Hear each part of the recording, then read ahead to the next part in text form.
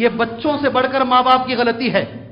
بچوں کی اتنی بڑی غلطی نہیں آتی ہے جتنی کہ ماں باپ کی۔ آخری میں دو آیتوں پر یہ بات میں ختم کرتا ہوں۔ کچھ آداب ہیں اس فون کے، نقصانات تو بے شمار ہیں۔ میں نے کچھ ہی تمہارے سامنے بیان کیے ہیں۔ کچھ آداب ہیں۔ ایک بڑا ادب تمہارے سامنے بول کر ماں باپ کی اور میں بھی ایک والد ہوں جو ذمہ داری اللہ ہمیں بتاتا ہے۔ وہ ذمہ داری کے ساتھ اس جمعہ کو ہم پائے تکمیل تک انشاءاللہ ختم کر دیتے ہیں انشاءاللہ تبارک و تعالی۔ آداب کیا ہے میرے بھائی؟ میں نے کچھ دیر پہلے تمہارے سامنے کہا ہے، پیشاب کے آداب ہے نہیں؟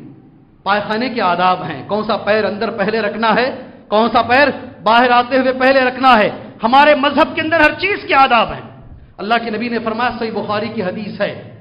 اگر کوئی آدمی، غور سے سنیے گا، کسی کے گھر پر گیا، تین بار سلام کرے، دروازے کے باہر کھڑے ہو کر تین مرتبہ سلام کرے، ایک بار سلام کیا، اندر سے جواب نہیں آیا۔ دوسری مرتبہ سلام کیا، اندر سے جواب نہیں آیا۔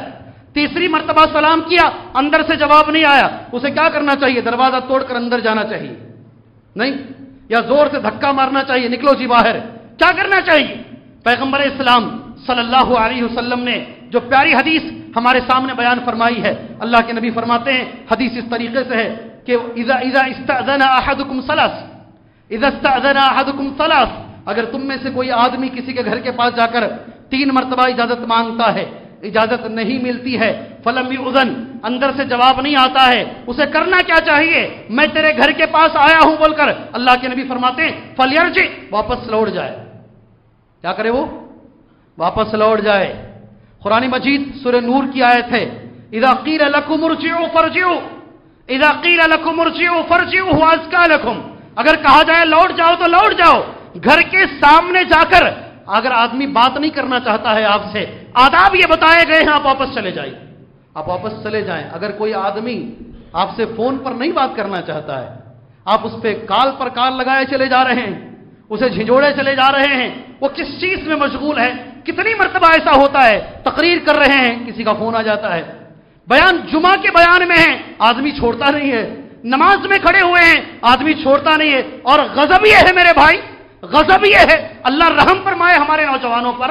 رات کے دو بجے، رات کے ڈیڑھ بجے، رات کے بارہ بجے کسی لکڑ پر کھڑے ہو کر، کسی چوک پر کھڑے ہو کر اپنے دوست سے گفتگو کرتے ہوئے اسے دلیل سمجھ میں نہیں آتی ہے۔ رات کے دو بجے تم فون کرتے ہو۔ اللہ کے رسول صلی اللہ علیہ وسلم نے فرمایا ہے، اللہ کے نبی صلی اللہ علیہ وسلم کو ایشان سے پہلے سونا پسند نہیں اور ایشان کے بعد بات کرنا پسند نہیں۔ یہ حدیث ہے اللہ کے رسول صلی اللہ علیہ وسلم کی۔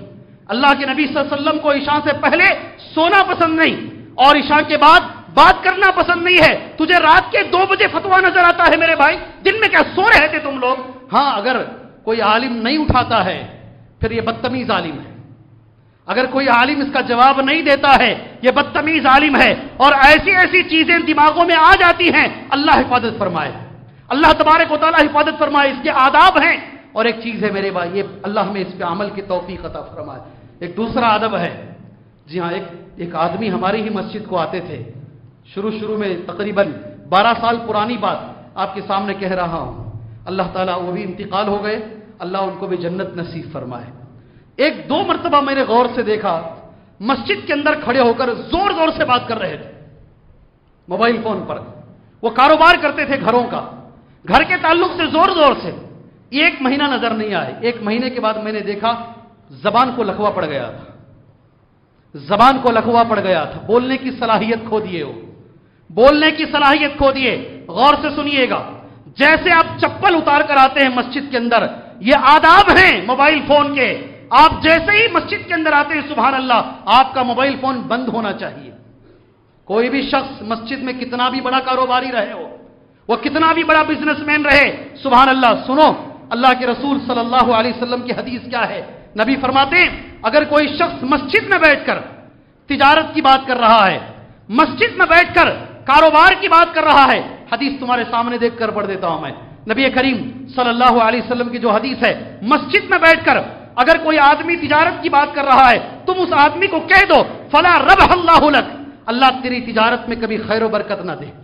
بدعا دو اس آدمی کو۔ کیا کہتے ہیں؟ اس آدمی کو بدعا دو۔ مسجد تمہارے کاروبار کی جگہ نہیں ہے۔ یہ فون جب تم یہاں لاتے ہو، آنے سے پہلے فون مسجد کے باہر بند کر کے آ جاؤ۔ یہ کچھ آداب ہیں جو موبائل فون استعمال کرنے والوں کے اور بہت سارے ہیں۔ جمعہ کے مختصر وقت میں ساری چیزوں کو ہم گھسیٹ نہیں سکتے۔